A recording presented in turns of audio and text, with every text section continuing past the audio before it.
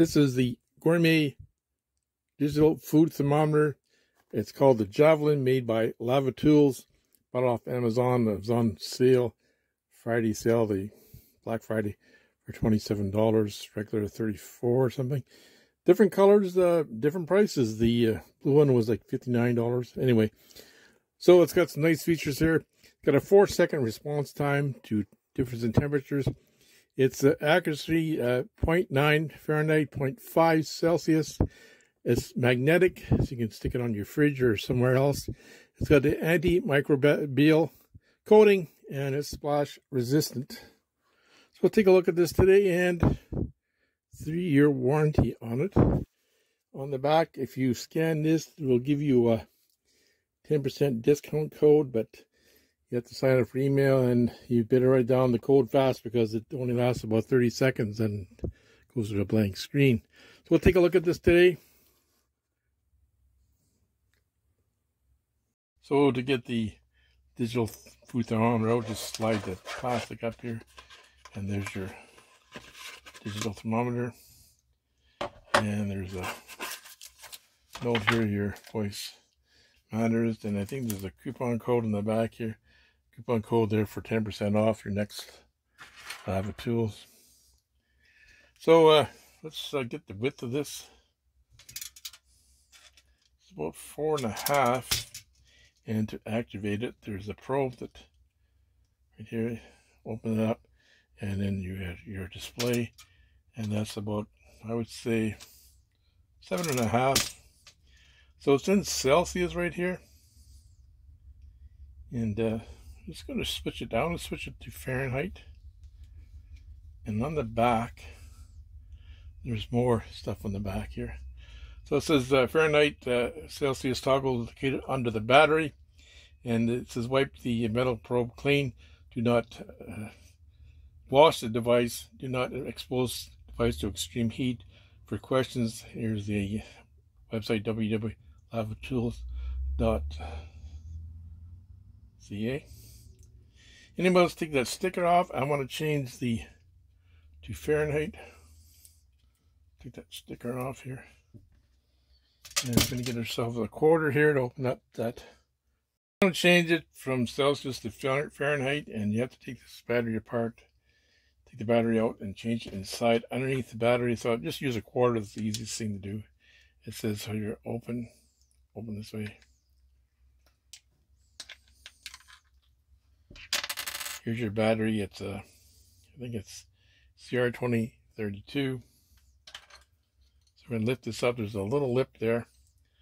Lift this out because we have to get at the settings. Switch to Fahrenheit. There's the settings inside here. I don't know if you can see it there. It's on Celsius. We're going to flip it to Fahrenheit.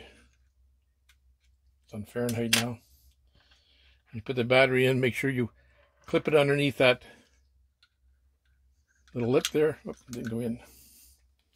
Put underneath that lip. there it's in again. Now you put your battery back, cover back on.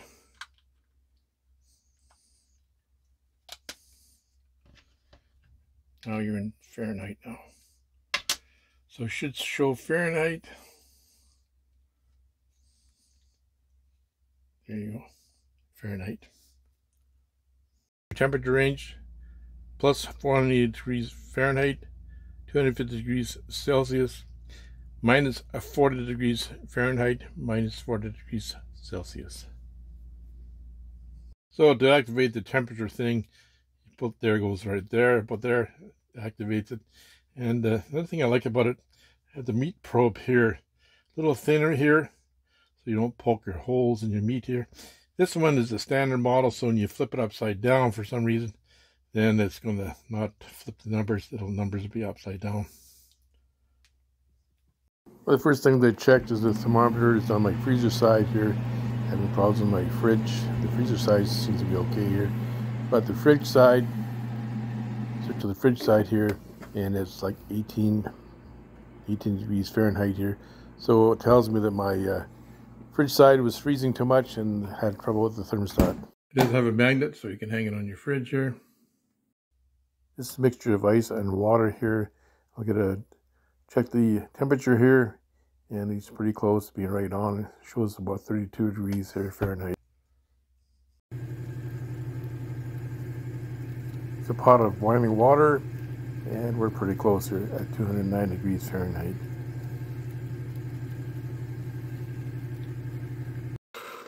Wonder how much temperature the Keurig coffee is?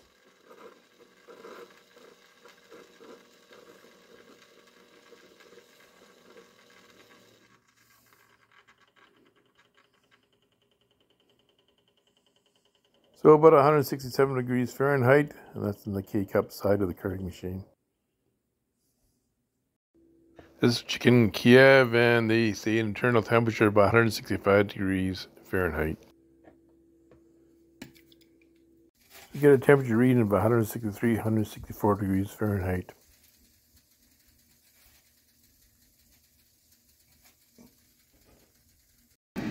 This is the air fryer, so it's nice to have this thermometer to check the chicken. We say it around 170 degrees Fahrenheit. We'll just check it here. And it's about close to 200 degrees Fahrenheit here. So cooks different in the in the air fryer than in the in the oven. So it's nice to have this thermometer.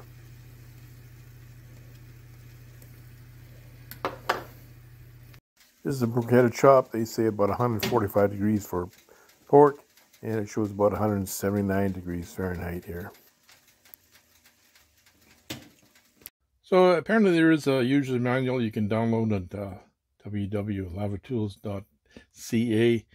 Uh, thing that uh, doesn't come with is uh, the different temperatures of different meats that uh, you should be looking for when you're using this digital uh, thermometer.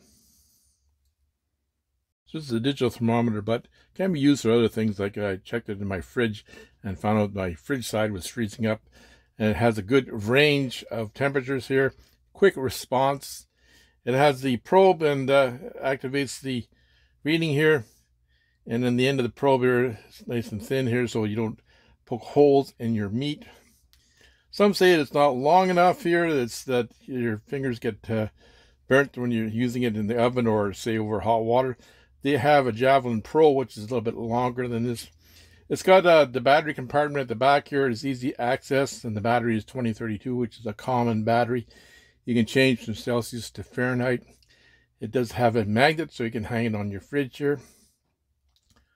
So I would uh, recommend this uh, thermometer here. And it does have a 10% coupon included with the package and a three-year warranty. So I'd thank all my subscribers, all my new subscribers. Thanks so much for my channel. Watch this for the first time today. Please subscribe to my channel. Thanks for taking the time to watch the video. Have a great one, people.